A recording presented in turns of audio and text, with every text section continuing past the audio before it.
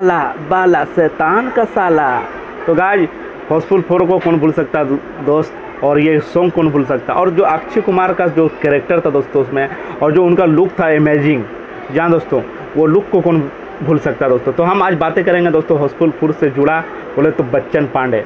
जी हाँ दोस्तों हाउसफुल फोर का जो अक्षय कुमार का लुक था प्रीति सिंह करके एक डिज़ाइनर है।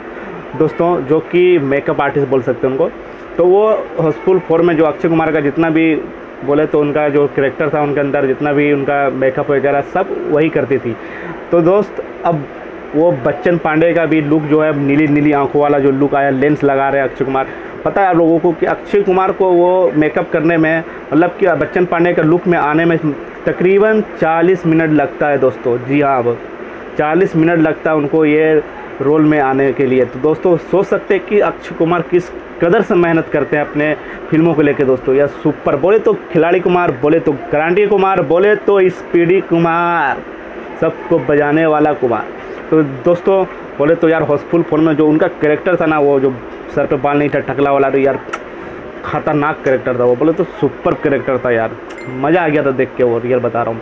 तो उसी तरह अब आपको दिखेगा बच्चन पांडे का कैरेक्टर जी हाँ दोस्तों नीली नीली आँखें बोले तो यार मतलब कि ये मूवी ना दोस्तों, ये जो देख रहे हो ना, शायद आएगा वक्त जब ये मेरा भी अक्षय कुमार वाला ही होगा। क्या करो, सड़क गरीबी है ना दोस्त।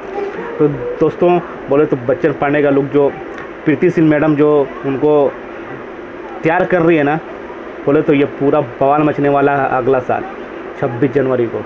तो गाय सुपर पे यार, बोले तो यार मज़ा आएगा, बोले तो यार है ना मचान होएगा, मचान। तो फिर करेंगे। करेंगे दारू पार्टी। उसी दिन चलेगा दोस्तों। ये सब सब उसी दिन बजेगा। जी हाँ दोस्तों 26 जनवरी नेक्स्ट ईयर तो गाइज़ आप लोग कितना एक्साइटेड हो बच्चन पाने को लेके? आप कमेंट के ज़रिए ज़रूर बता सकते हैं। तो बस भाई इतना ही। मिलते हैं नेक्स्ट वीडियो में।